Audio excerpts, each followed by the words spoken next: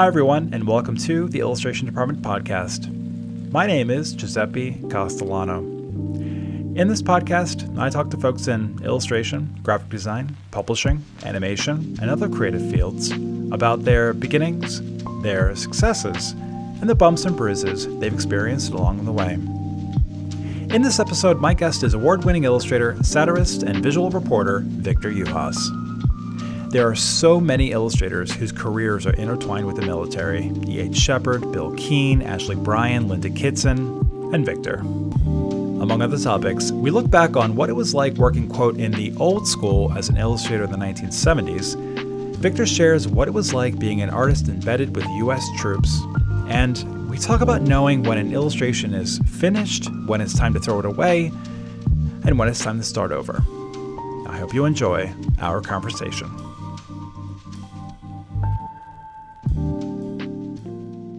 We've actually crossed paths, but we've never been introduced. We never talked, I don't think. Um, I hung around the Society of Illustrators a lot. And, you know, your face is definitely familiar. Like you were definitely there while I was there. Were you there like at receptions and such? Yeah. Receptions, Oh, okay, open okay. drawing, that kind of thing. Oh, open drawing? Seriously? Yeah. Oh, I'm so sorry we didn't get to meet each other Yeah, that's all right. That's all right. You didn't. You're not. You're not missing much. Oh. So I, I want to start in 1974, if you don't mind. Yes. You were a year away from graduating from Parsons, and you received a commission from the New York Times, of all places. Um, you said the Times was the goal for editorial illustrators at the time. You started first at the top, and you were thinking, well, what the hell do I do now? So, what led to that commission? What I mean, what were you a late? Were you a junior or an early senior? Uh, I was. Uh, I took the three years at Parsons. I did not go for a BFA. Um, Okay. I felt like I just. I was a blue collar kid, so I thought to myself, I, I'm just as well off going for uh, the education and what I'm, uh, what I want to be, Right. as a, as opposed to g- going for a degree. Okay. Uh, in, one- in one sense or another, we could speculate whether that was a smart decision or not. But uh, I was in my second year, and uh, I'd say one of the advantages, one of the huge advantages of going to a school like Parsons back then, and maybe it still applies now, but certainly uh, going to a, a, a, a prestigious art school like Parsons or School of Visual Arts or something, you were working with the with the top pros at the time. You know, you were not we were not dealing with uh, a lot of uh, academics and um, people who had wonderful degrees after their names. We were dealing with uh, the, the instructors whose degrees were uh, the reality of, of being illustrators. Yeah. I'd say many of them were probably fortunate to have gotten through high school. And uh, what they had to impart was the experience of, of uh, being top pros Sure. Peop people like uh, Bernie D'Andrea, people like Murray Tinkelman, Yep. uh, Jim Spanfeller, and John Gundelfinger. I mean, uh, I could. Uh, I'm going to forget so many other names. Sure. Lorraine, Bernie's uh, Bernie's late wife, uh, Lorraine Fox. Mm-hmm. I mean, these uh, uh, they, these people were all there. I actually spoke with Joe Ciardiello on the podcast a couple episodes ago, and he uh, mentioned Jim Jim Spanfeller as a huge influence on his career. Yes, yes. And these were people that uh, they were top of their field, and yet at the same time absolutely accessible. They were teaching because I think they really enjoyed teaching, and they enjoyed interacting with the students. Right.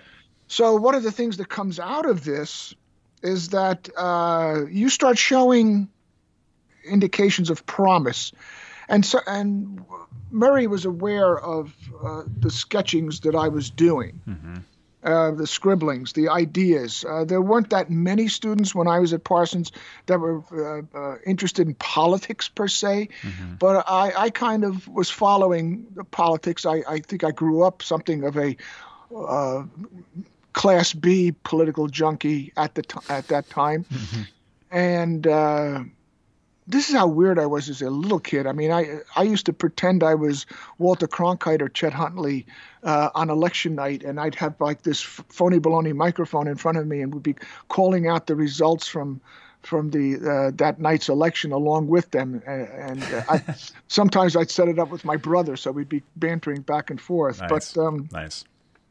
But anyway, I was doing that kind of work, and Murray was aware of it. And M- Murray uh, said, "Well, why don't you go upstairs and and show this work to J.C. Suarez?" Now Suarez at that time had been the art director uh, and um, mm-hmm. one of the co co uh, originators of the op-ed page uh, mm-hmm. Uh, illustrations. Sure. You know, and, yeah. and um, he had he had left that post and he had passed it on to George Delmerico. Mm-hmm. And so I went upstairs and I, I showed the work to uh, JC and he was chewing on a cigar as as t- usual and was flipping through them and he, he said, "Okay, fine, yeah, go go see George. Go tell George I I, uh, I sent you." Yeah.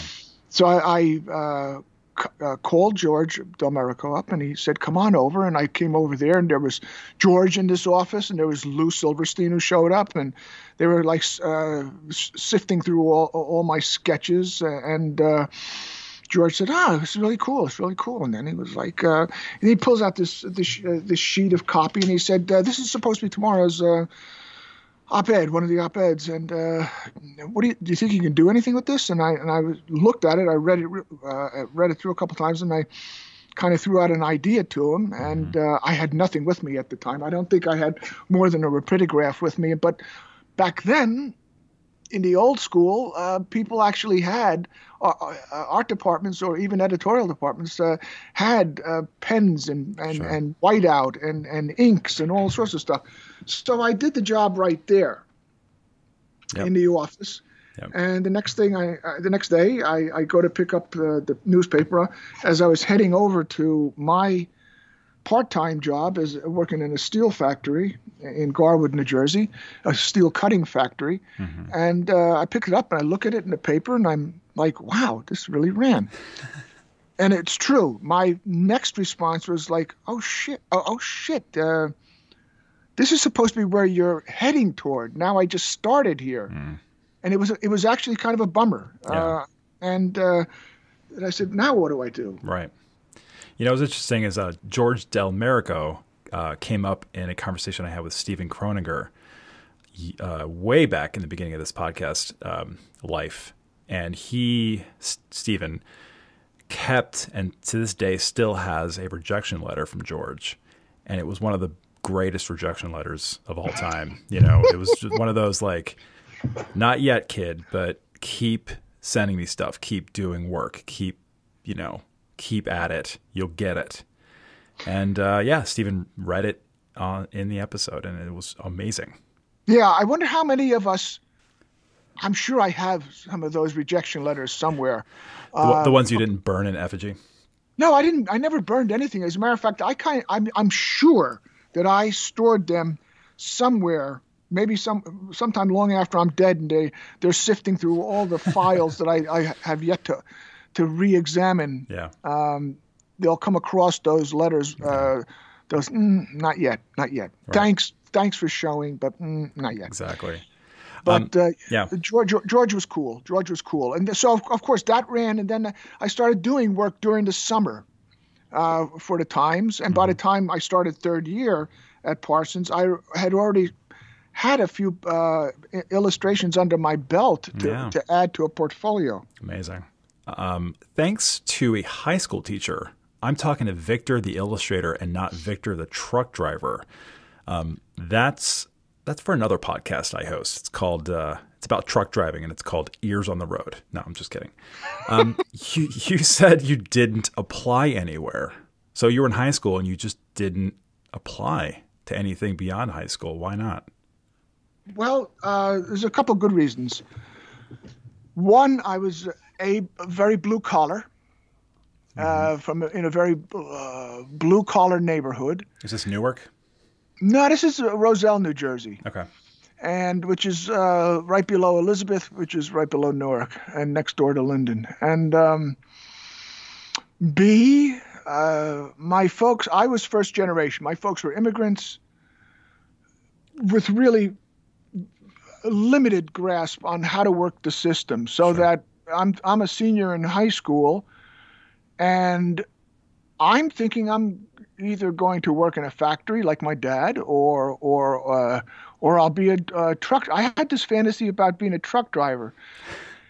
Uh, a long distance truck driver, like coast to coast. I thought it was something really cool about that. Uh, I'm so glad that didn't happen. Was there some For, element of like getting away from where you were?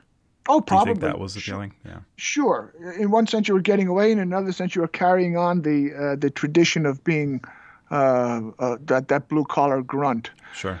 But um, my uh, high school uh, art instructor, Nick Florio, who himself is a graduate from uh, Du Cret in in, in New Jersey, and um, he asked me one day, "So what are you going to be doing?" because he, you know, I, I did a lot of things in his class, and mm-hmm. I was doing the, uh, the, the, drawings for the school newspaper and other things mm-hmm. that were happening at, at the high school. Mm-hmm. And I was part of the drama club, so I was there, you know, uh, creating backdrops for stages. And mm-hmm. yeah, I did that anyway, too in high school. Mm-hmm. Yeah, so so Nick was like, uh, "So what are you going to be doing?" I said, uh, "I think I'll be driving a truck," and Nick just gave me this look well before we ever concocted the term um, eye roll, and he just was like, "Wow." He goes, "Come with, come with me," okay. and and uh, he took me down to the office, and he started pulling out these sheets of uh, of applications, and he goes, "You're going to sit down. You're gonna, we're going to pick out some schools. You're going to send uh, some applications. It's not too late." But you're get you're you're really kind of tight. And what I, I filled out, I think like four or five I think I sent one to RISD. I definitely sent one to some uh, art school in, in, in, the Boston area. Mm-hmm. Um, I sent one to SVA, I'm sure. I sent one to Parsons. And, and also there was, uh, oh God, I just blanked on, on, on the, um, on another school that was in, in, in the Upper East Side of Manhattan, an art school. Hmm. Anyway, uh, got rejections, and then but but Parsons was willing to see me, and I went there and I brought my portfolio, which I still have a fair amount of those pieces, uh, and um, I can't believe that they even said, "Yeah, you're you're perfect for Parsons." Yeah. But the next thing I know, I, I get accepted, and the, the rest is the rest is history. Sure. But it, it really accentuates the point of, of the importance of having a mentor, sure. of having a teacher uh, who cares about uh, your future. Right. And I think all of us, regardless of how successful we are, all of us can uh, uh, claim, at the very minimum, one important mentor mm-hmm. Uh, who uh, who set us on a path. Right. You know, or correct our course. Yep. You know, actually, speaking of that, so doing some research for this episode, by the way, sort of as a side note, I learned that um, is it pronounced Juhas? Yeah, Juhas. Knock off the J, knock off the Z. All right. Well, so Juhasz um, means shepherd in Hungarian. So did your parents come from Hungary? Uh, my father uh, did. My mother originally was from Hungary, but after World War II, she uh, after World War II, she spent uh, three years in uh, the Soviet concentration camps, uh, being of German uh, background, right. and uh, her much much of her family was was brought back to the Ukraine to work in the the, the concentration camps there to rebuild the, the, the Soviet Union. Gotcha. And my father's family also lost just about everything. Um, but but my mother's family had to relocate to Germany because they were, were of German uh, sure. last name, Striffler. Gotcha. And and um, she spent she was three years there, almost died, uh, like a number of her family, and uh, who almost died, and mm-hmm. uh, got back, relocated, and then my my folks met uh, a few years after she returned, uh, as my fa- as my father more or less escaped and and headed west sure. into, into Germany. Yeah. So your father, um, I learned, participated in a course through the famous artist school. He dropped it when he got sick. And you, you also suggest that your mother was super supportive of the idea. That's that he sarcastic. Dropped, that, yes, uh, absolutely. Yeah. Uh, as a, and I just got a. Uh, it's funny when I posted that, and then um, the Rockwell was doing an exhibition on that famous artist school, and then I went to look for the, those uh, those art books that my father had Mm-hmm. that I still kept that he still kept after he folded up shop after he got sick and, and, and stopped studying. And it wasn't. It was the one in there was another one in Minneapolis. So this wasn't the one that was uh, out of I guess Connecticut or something. Right. This was this was the one out of Minneapolis. And so he folded that up and uh, pretty much gave up on on this, his his own dream of being a, a commercial artist. At that time, he didn't call them illustrators, or I guess they didn't refer to themselves as illustrators. They referred to, to themselves as commercial artists. Yeah. And he put whatever he had stored and, and collected uh, into a uh, a suitcase, and that was up in the attic. And uh, over the years, as a kid, I would sneak up there and I'd go through his his lesson books, and I'd see his drawings. I'd see the the corrections. Uh, Somewhere in that, that kind of probably stuck with me, Right. regardless of what I may have fantasized about. By the way, if I was a truck driver, I can't even back up in a in a regular Honda SUV. So uh, it would have been a horror show. But uh, somewhere, regardless of my fantasies, my my blue collar fantasies, there was this element of of uh, draw, you know, wanting to wanting to do this as well. Yeah. yeah, So I was always drawing, even as a kid. Right. By the time you know grade school comes and you're doing silly drawings or comic uh, comic heroes and stuff like that for the other uh, kids in class and stuff, um, and and uh, then you get to high school and you're starting to do all that other work. Yep. This might surprise a few listeners. It might even upset a few listeners. But one of the largest supporters and commissioners of illustration for more than 150 years is none other than the United States Armed Forces. Winslow Homer was embedded with troops during the Civil War. His reportage, or I guess it's pronounced reportage if you live in a big city, um, appeared in Harper's Weekly. In Yeah, other they words, were called, they were called specials back then. sure, That was their title, specials. Right. So, in other words, there's a long intertwining history between illustration and the military. The Society of Illustrators is a partner with the U.S. Air Force, and it's been been the case since the 50s. Illustrators, if I may, who either drew while serving or drew for the military as a civilian include James Montgomery Flagg, who's famous for doing the I Want You Uncle Sam poster, Bill Keane, creator of Family Circus, Maurice Noble, who was famous animator for Warner Brothers. Noble's commanding officer during World War II was Theodore Geisel, otherwise known as Dr. Seuss. Stan Lee was also part of the Army's Signal Corps. Uh, so was Charles Addams, creator of the Addams Family comic, and then obviously the TV show and movies. World War II veterans credit Bill Mauldin's Willie and Joe comic for getting them through the horrors of the war. Uh, Ashley Bryan, the famous children's book creator who stormed the beaches of Normandy. I mean, like you, Victor, you too drew soldiers on the war front. I mean, I can go on and on with this stuff. Like Peggy Fortnum, who illustrated Paddington Bear, fought Nazis for the British. Ronald Searle drew his captors during his time as a POW at the Changi prison camp. E.H. Shepard was uh, a war correspondent, fought and visually documented the war front during World War One. Linda Kitson, who was a war correspondent uh, during the Falklands War, she was the first woman to be embedded with troops. I mean, it's like, and I'm barely scraping the surface, right? So, Oh yeah, think of Harvey Dunn. Think of that whole group of, of early Society of Illustrators members sure, in in World War One who went with the uh, Expeditionary Force uh, uh, and and and uh, documented their their activities. yeah. I mean, it, it's it's very long, very deep. I mean, you name an illustrator who's lived, you know, around World War One or two, chances are pretty excellent that they've, or Vietnam or onward, chances are excellent that they've, uh, you know, done something with or for the military. Right. Um, Through the Troops First Foundation, you drew soldiers on the front lines in Kuwait and Iraq. You were embedded in Kandahar with a medic team recovering wounded soldiers. So, all of that is a lead up to this one question for you. What's it like drawing the troops? Um, many of the artists that you just uh, mentioned were actual uh, com- combatants themselves. They ser- they served in the military. Right. I've never ser- served in the military. I've uh, been a civilian, Mm-hmm.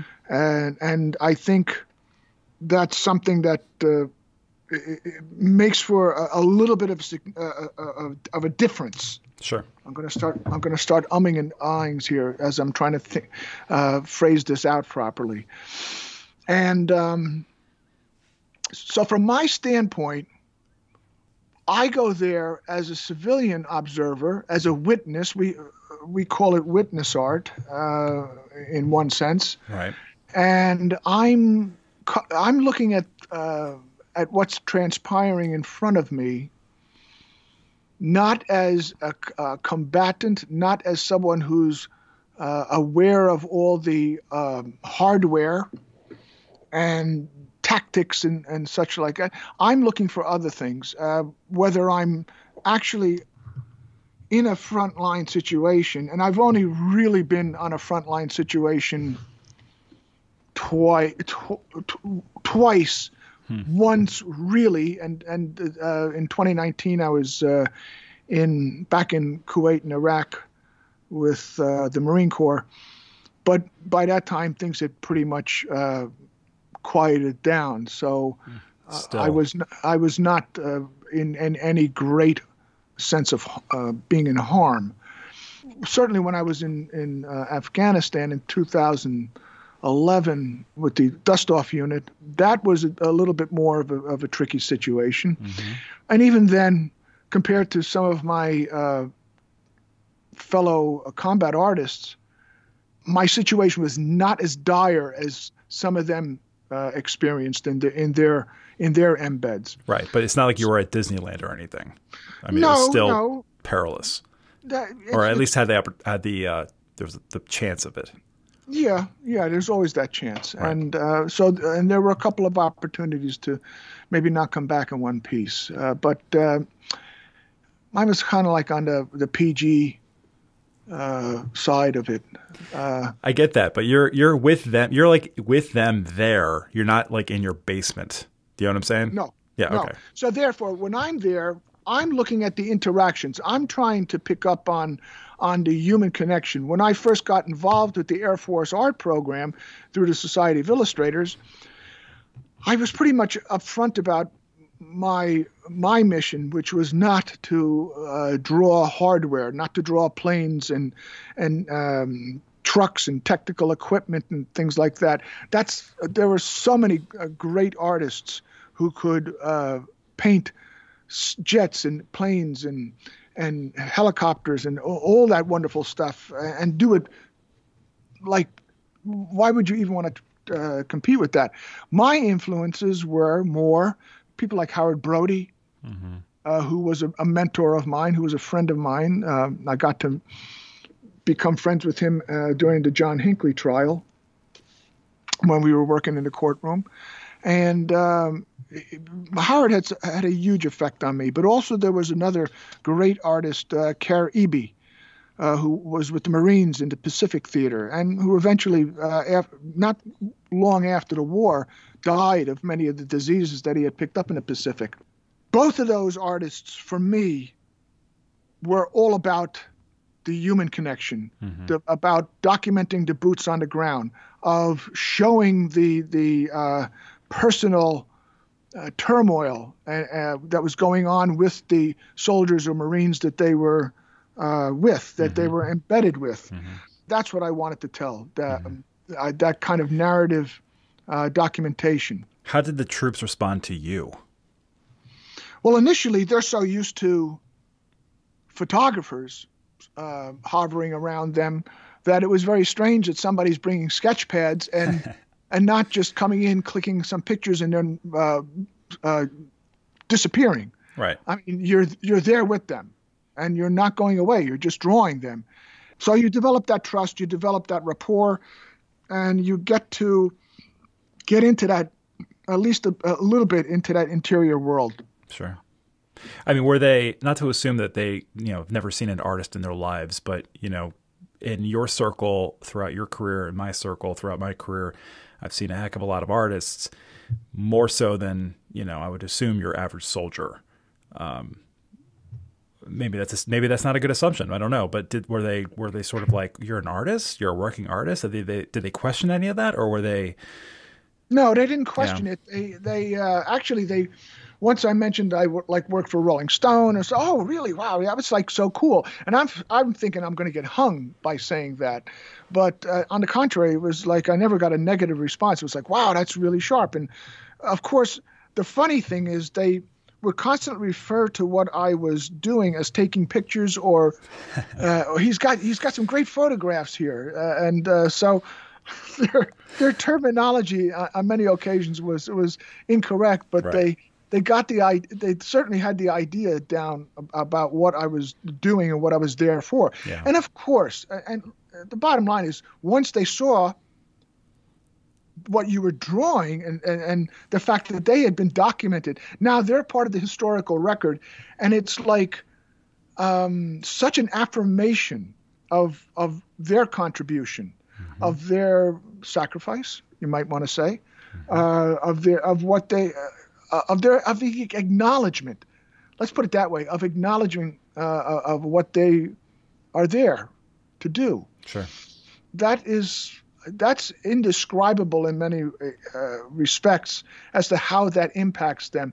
You just uh, you, you know though that uh, they are very appreciative of that acknowledgement. I think a lot of them don't think that they're they're getting um, a f- the kind of attention that they want. You know, I don't think a lot of them really. You talk to enough, and you you realize that a lot of them are not really wild about that. Thank you for your service. You know, the your yeah. service is is something that you volunteered for. It's not even like you were drafted. This is stuff that they were. This is what they. This was their, as my meditation teacher would say. This is their dharma. You know, uh, uh, this is what they, the, the calling in their life. Mm-hmm. Uh, and uh, so you're you're you're acknowledging that, and they're uh, and they're grateful for that. Right. Are you familiar with the illustrator Miriam Troop? I should be. I'm I'm bad on names, uh, much better on visuals. Um, she, you know, working artist, uh, doing a lot of portraiture. Uh, she did portraits of a lot of really famous people, Allen Hirschfeld being one of them. Um, she worked with the USO. She went overseas with the USO um, in 1953 during the Korean War, and she was embedded among enlisted men in the in the hills. Uh, why? Because they couldn't send photographers. It was too much. It was too difficult to send a bunch of equipment up there, but you could easily send an artist with a sketchbook up there.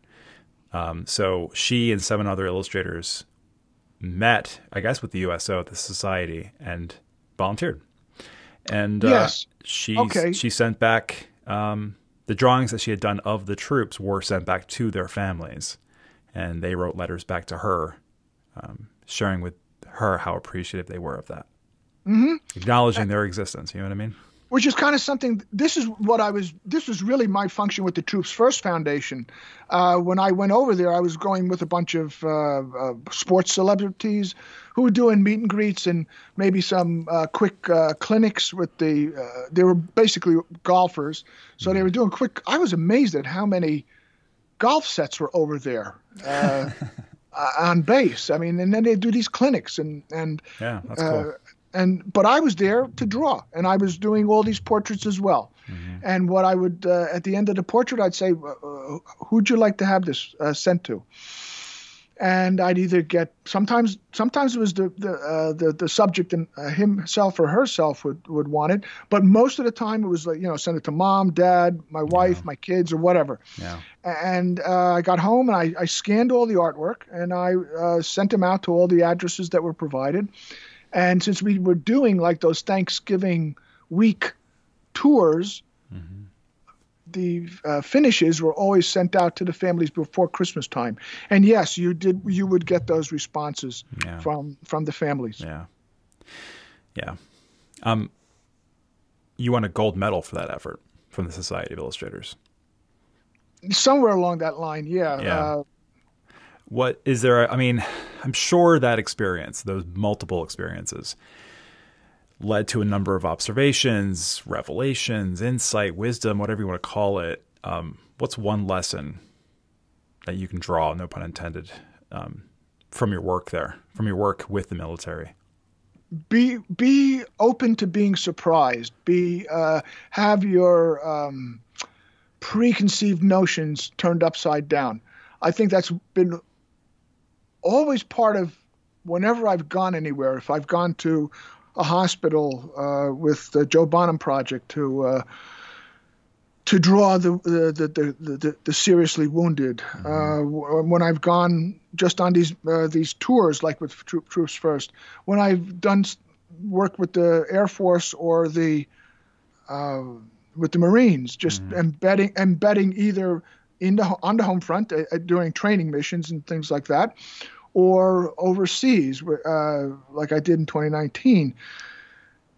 Be very conscious of of uh, and be very open to the idea of being surprised. And one of the things I uh, that's and I'm not a great talker. I'm not a very loquacious person uh, unless maybe a, a, couple drinks happen. But doing, a uh, pretty good, doing a pretty good job so far. Are, did, well, you, did you have a couple drinks before this? No, no, it's too early. Uh, and I I got to say, I was wondering about how I was going to comport myself, but um, nah, you're doing great. Um, be quiet. Uh, you don't have to ask. You don't have to do a lot of talking. Just all you have to do is ask a few questions. You'll get conversations, and if not, just sit back and listen. The conversations are always always happening. Mm-hmm. There were some drawings that uh, when we uh, spent time at the the towers, the guard towers, and, and uh, at certain bases. Mm-hmm and you just sit there and you there was almost to a location there was the alpha conversation list of the two guards up in the tower and then there was the straight man who just basically listened and nodded and offered very little uh, very little response. And sure. we joked. Uh, I joked about this with, with a couple of the other, other artists.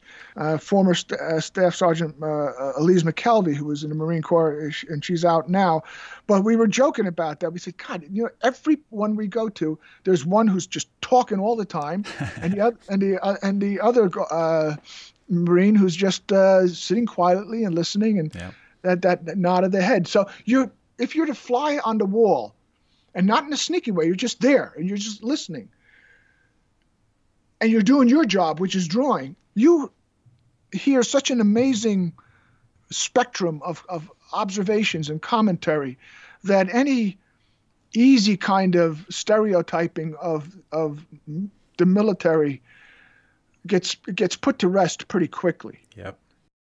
And uh, you'll have hard asses. You'll also have incredibly uh, left left of center, shockingly left of center, mm-hmm. and some some very uh, upfront, frank uh, observations on what the military, uh, what what their role in the military or what their role uh, in the world is. Right.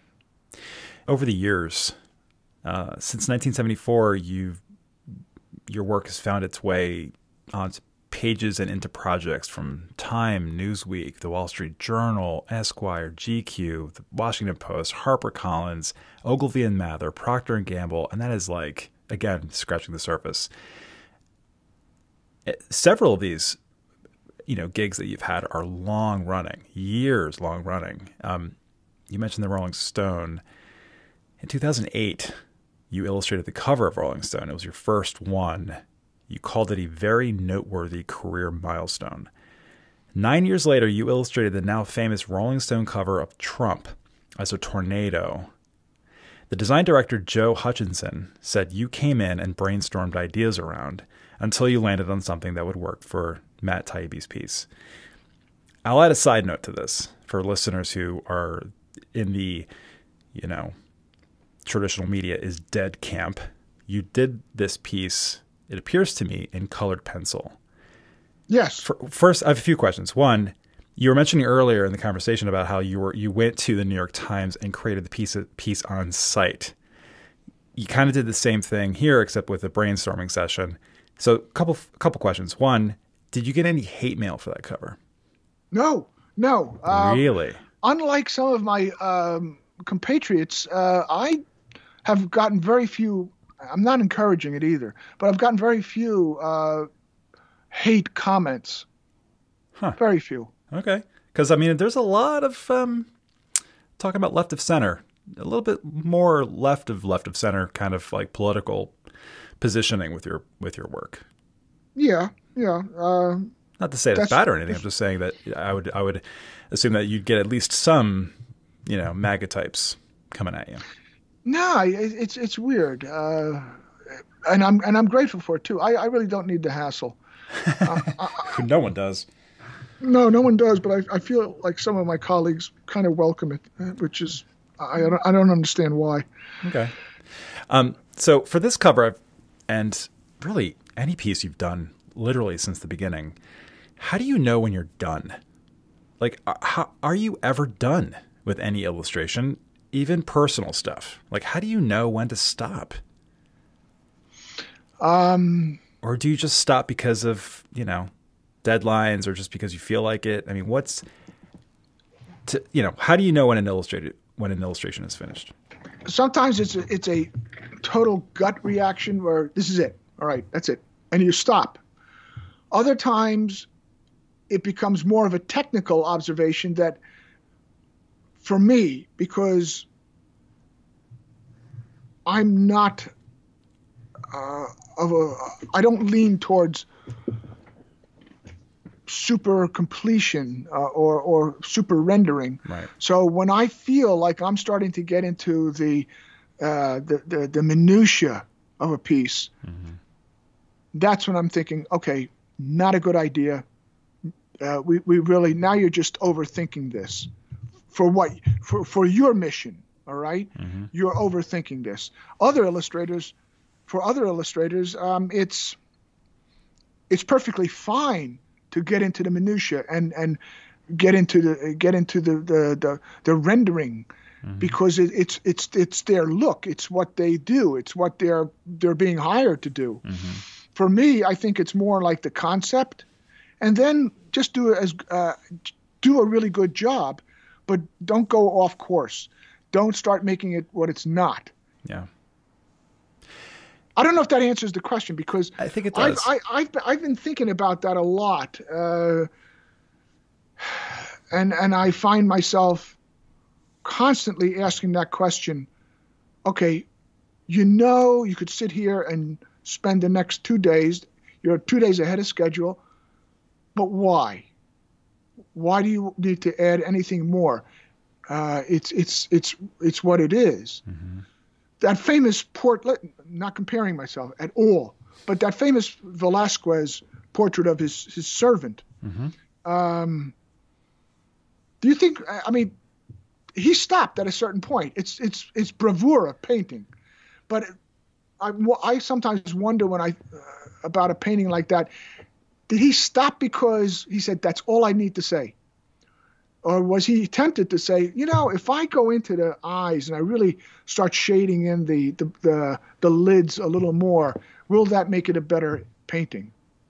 Um, I, I tend to lean more toward the immediate response. And I know I'm al- al- always, almost always, sinking an illustration when I'm past that sensation of immediate response and am um, going into finessing it. Right.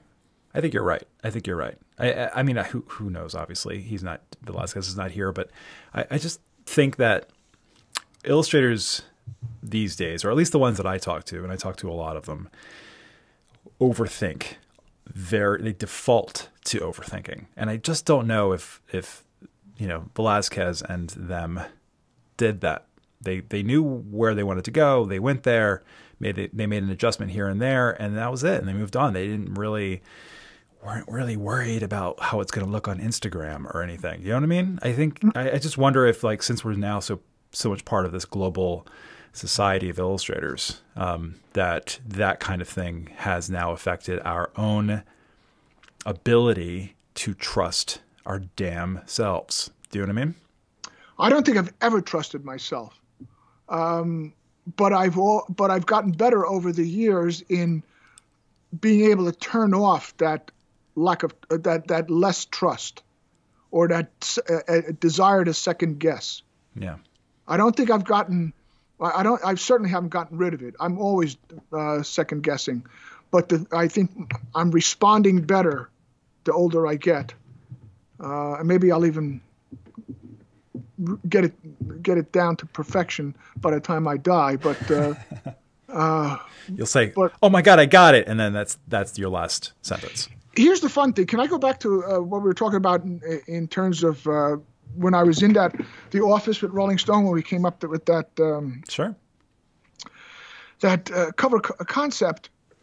That was what I so loved about that experience, and we've kind of done it now a number of times. Ironically, during this COVID period, where you got these Zoom sessions going on with the with the art directors and the editors, uh, and uh, with Joe and and Toby and and uh, Jason and Sean and stuff like that, and you're you're uh, you're on the Zoom, and I'm scribbling as we're talking and kicking things back and forth.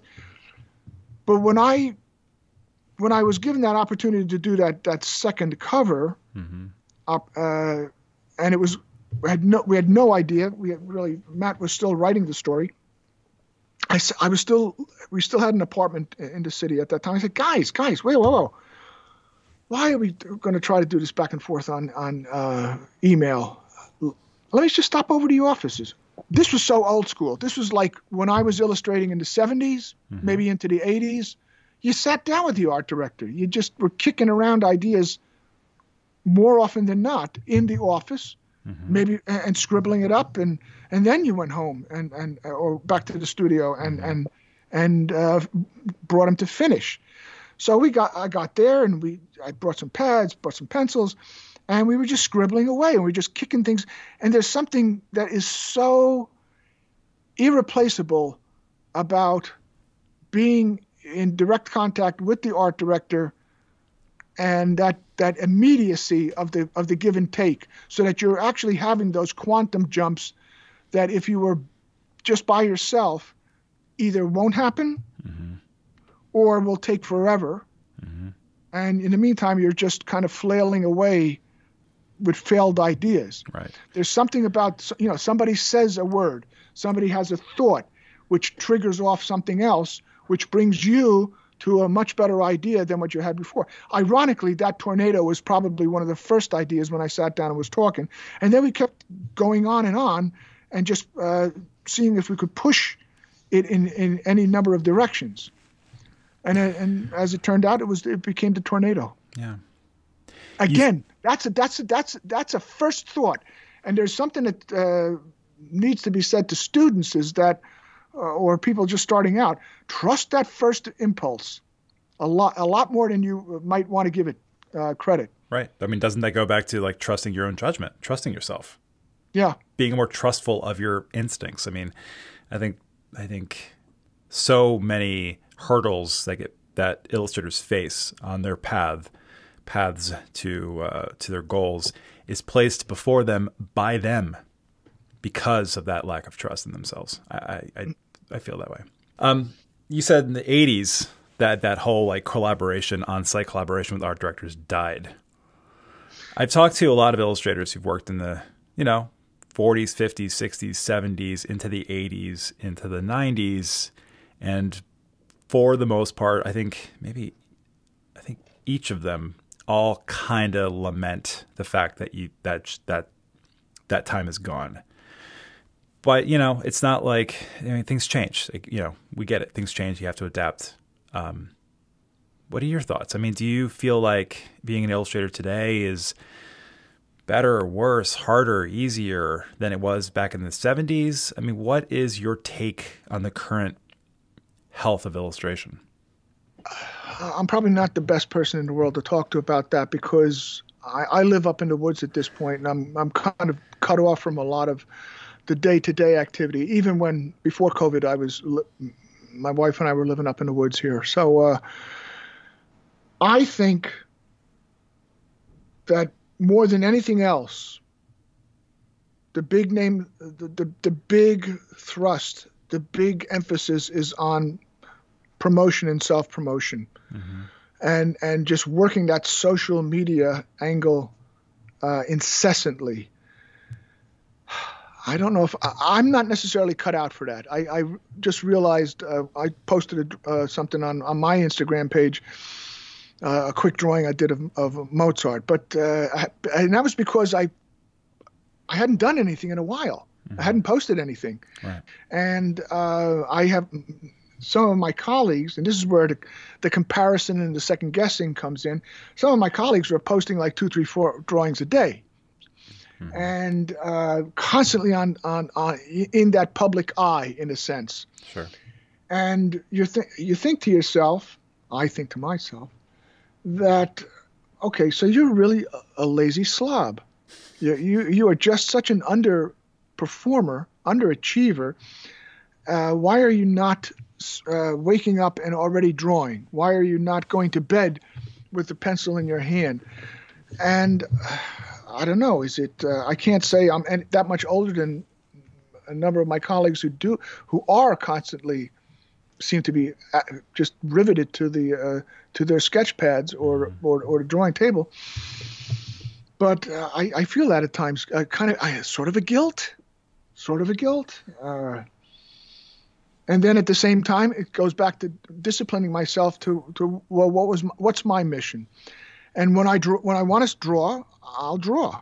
Uh, and and I do love to draw. Drawing is drawing is really my foundation.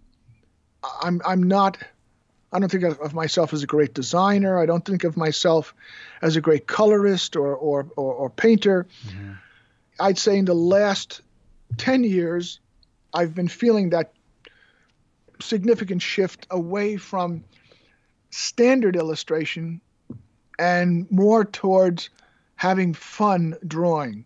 So whereas 45 years ago or 40 years ago or 30 years ago, I was working maybe 24 7 as a, as a, and a lot of that time was spent as a single parent, mm-hmm. um, taking a, every job that was available. So in a sense, I was drawing all the time, but I wasn't necessarily having fun. I was paying, I was doing jobs to pay bills and and keep the family functioning and and, and moving along.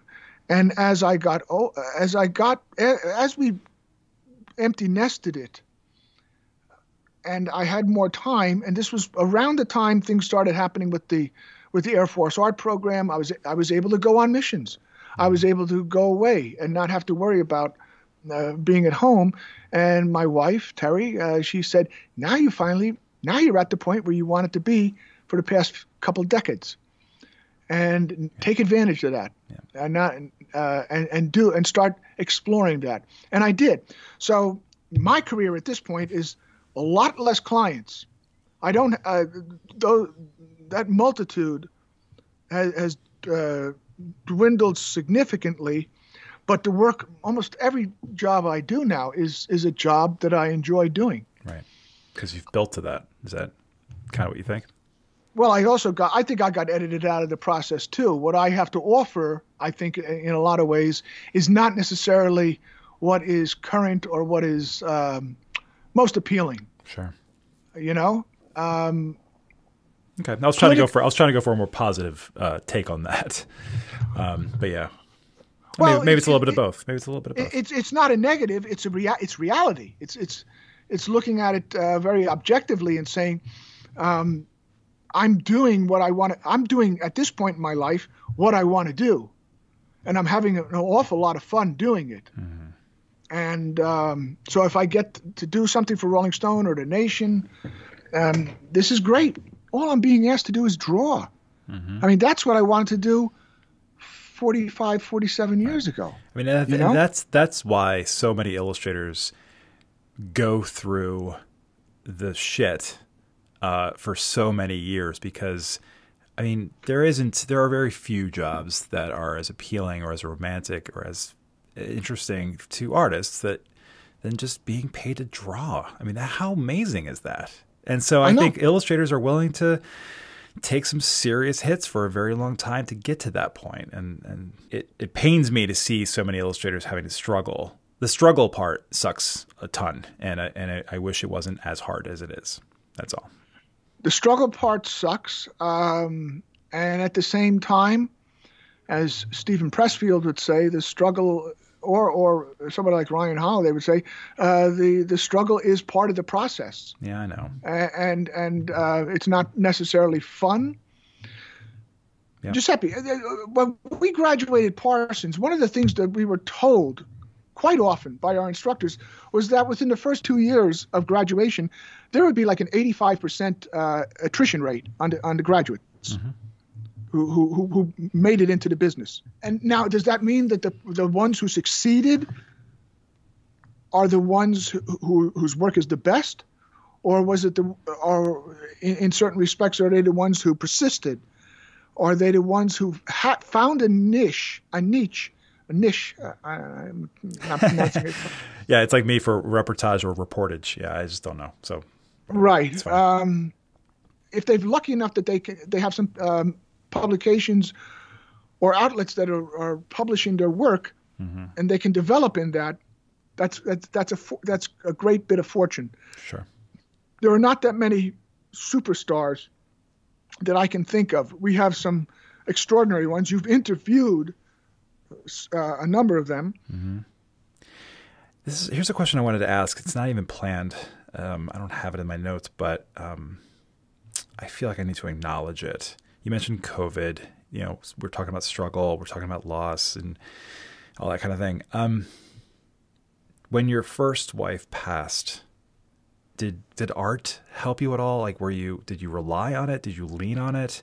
Did you abandon it?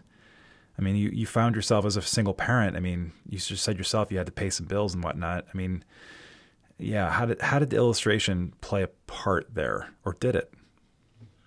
It played a part in the sense that it was um, it was my life. I had three kids. I had three sons, and and uh, they were they were still like five, three, and uh, and one and a half, and um, mm. you, there was no option all right, there was no option to fall into a kind of state of disrepair, and uh, I remember when my first, my wife, uh, my late wife was first diagnosed, and I mentioned it to, uh, I told Bernie D'Andrea, and Bernie's comment, his immediate comment was, "Whatever you do, don't stop working. It's you're going to need to work, and not to, to make money. You're just going to need to work to stay somewhat focused, mm-hmm. you know. Yeah. And um, he Bernie was kind of uh, very. Uh, he was very dramatic. So he was when he said it, it was like you've got you've got to stay. Just remember, Vic, you've got to keep working. Yeah. No matter what. And and I think it it it sustained me. Yeah it didn't but it didn't uh, it, it, didn't save me let's put it that way sure there it was more a situation where there was no option all right yeah um and which is good sometimes it's really good not to have an option and just to be uh, take what what's in front of you and, and barrel ahead with it oh yeah been there um let's remember let's remember that uh there are definitely some illustrators listening to this conversation. What would be one piece of advice that you'd like to share with them before you and I sign off? I usually do do about two or three of those, but and one of them I mentioned before, like trust your instincts. Mm-hmm.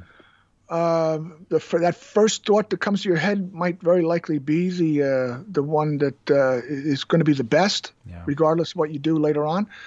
However, I think one of the things, and that, this comes up in both drawing, in the matter, just in the matter of drawing, it also comes up in the matter of, of working on assignments, and for students, um, for students, it's also very important. Uh, I've I've done enough talks at school. I said this is the this is the opportunity to fuck up right here. Go go big and fail big because you'll learn way more from that. Uh, in terms of being a pro, know when to throw a, a, a, something that's totally feeling like a fail, no matter how much you're trying to force it to work. Uh, recognize when it's a fail, and be willing to throw it away and start all over again, uh, because it's a very liberating, as frustrating as it might be from the standpoint of uh, maybe a deadline or whatever, mm-hmm. throw it away. Throw it away. Say, yes, this is not working. It's not looking good. And start again because chances are you have now absorbed basically everything that you did wrong on that first attempt. Uh, and now you're you it'll be happening a lot faster on the second go around because you've already edited out a lot of the of the fails yeah. uh, that, that, that went into the first one. I think it's really liberating to just uh, uh give up on. Uh, or that's not a good term because that that has really negative connotations. But admit when something's not working. Yeah. And just start all over again. To learn more about Victor, visit juhaszillustration.com. If you enjoyed our conversation, please share it with your friends, subscribe to the podcast, and provide a positive rating and review. Become a patron by visiting patreon.com slash illustrationdept. In return, you'll receive our soft enamel pin, a reusable discount code for 10% off, and access to patron-only episodes we're calling Extra Credit. This podcast is produced by the Illustration Department, a global leader in online education for illustrators.